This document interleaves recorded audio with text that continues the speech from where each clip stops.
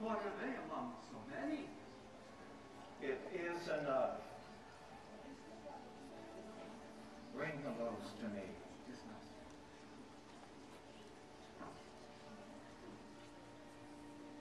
Tell them to be seated.